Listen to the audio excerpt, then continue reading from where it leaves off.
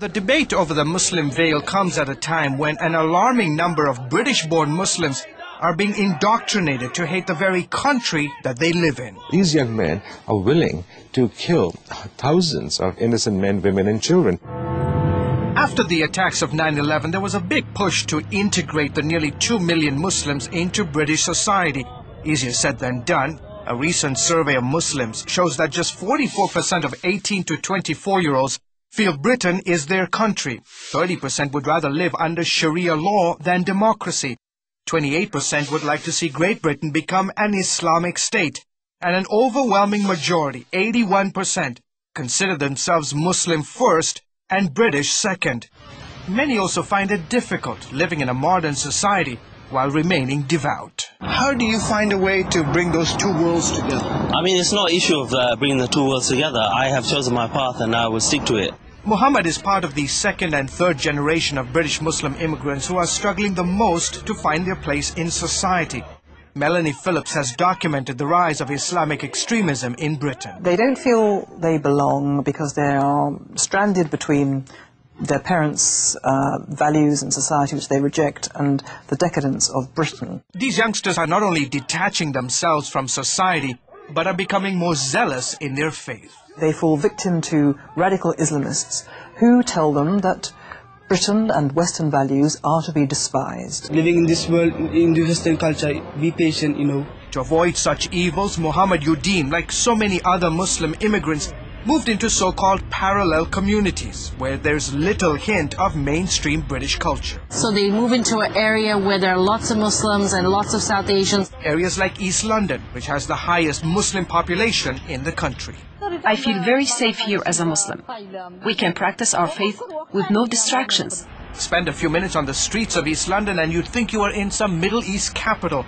There's nothing here that you can't buy, mostly products Muslims want. There's no doubt that Islam today is having a profound impact on British culture and society.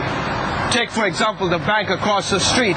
It offers Sharia checking accounts, and increasingly Muslims are flocking to such banks. Muslims are forbidden under Islamic Sharia law to do business with banks that earn or charge interest. This camera Muslim and this bank, the Islamic bank, it's uh, following the rule and regulation of Islam. Parallel communities like the one here in East London are emerging all across Europe.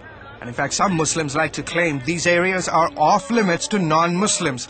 Case in point, when Britain's Home Secretary John Reid visited East London in September, Abu Izzadeen, a radical Islamic leader, shouted at Reid saying, Reid replied, my friend, There is no part of this country which any of us are excluded from. Britain has prided itself on being a multicultural society. But Melanie Phillips says multiculturalism has instead allowed radical Islamists to flourish. The host community is saying multiculturalism.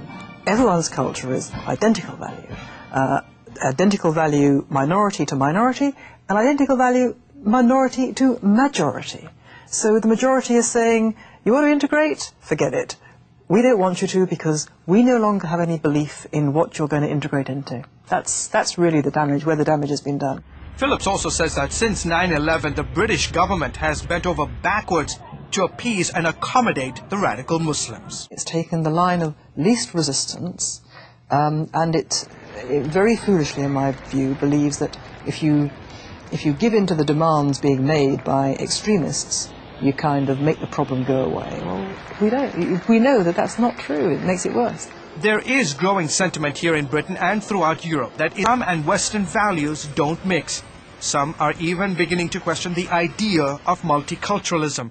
For now, though, criticism of Islam has once again sparked anger among British Muslims, this time over the veil. And once again, Britain faces the challenge of how to win Muslim hearts and minds that appear closed for the moment. George Thomas, CBN News, London.